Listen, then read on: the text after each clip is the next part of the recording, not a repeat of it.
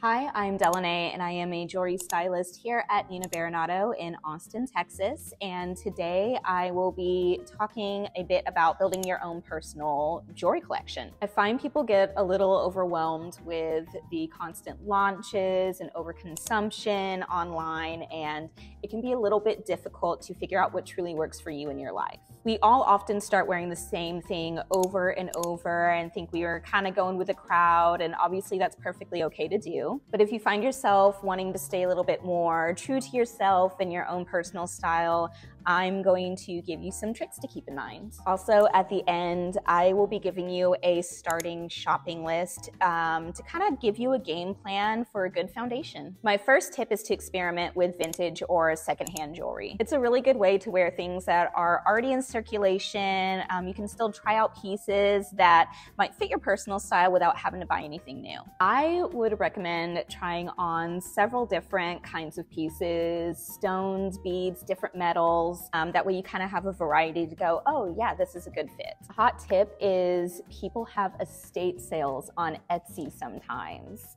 Um, and those are always really good deals. Just make sure that you're choosing a seller that has a lot of good reviews. Another thing you're gonna wanna keep in mind is the price associated with each item. Solid pieces are often much more expensive than say like a plated piece, a gold plated piece. So if you're looking for something that's like big and eccentric, um, most people should go with something plated unless you're looking to spend a lot more on one piece. But we also have another video all about the details details of that. So I really recommend you checking that one out as well. Long story short, there are great options for every price point. However, I would really encourage you to look at pieces that are plated at a higher quality, um, something with a higher amount of plating so it won't wear off. But if you're buying pieces that are hypoallergenic, have a higher plating quality, and you're storing them properly out of the sun and uh, out of humidity, those pieces are going to last a very long time, if not forever. You'll also want to look at what type of metals look good with your skin tone. Um, I'm one of those lucky people where I wear all the metals, so I mix mine a lot. I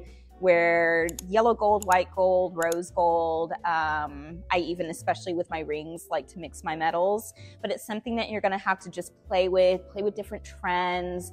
Um, it's like going in your mom or your grandma's closet and trying on all their old jewelry. Like it's just fun. And playing into jewelry trends with the different metals that are like trending are fine, but do yourself a favor and honestly see what color works best for you so you can keep on wearing those pieces over time. You might also want to consider some personalization. Um, this could be engraving, adding a gem, maybe your zodiac sign, making a cute little charm bracelet with symbols that are really meaningful specifically to you. My last tip would be to pay attention to the different sizing. Um, I would take a cloth tape measure and just measure out a couple of different lengths for like where you would want things to fall. That way, when you're ordering online, it makes it a lot faster and you already pretty much know if something's gonna work with your personal style. Now let's get down to the nitty gritty, enough tips. Let's pretend you own zero jewelry and you're just looking to get a good foundation down. Some pieces I do recommend you own are a few pairs of like basic studs and you can kind of layer these depending on like what kind of piercings you have. A simple pair of hoops and you can get these in varying sizes. Um, I'm really partial to like the size of like our hand stitched huggies. Um, I think they're perfect. They fit just about everybody's ear type. Um, my sad thing is I have gauges, so not necessarily for me, but anytime I've seen somebody wear them, they just look absolutely excellent. And I feel like that's the perfect starting size for a good hoop. The other thing I suggest is kind of a dainty necklace. Um, these are great for layering. I feel like it's a great essential. So like you can get that as a base and then start layering different pieces from there. These are a really great base, especially if you like the layering look. Layering is very in right now.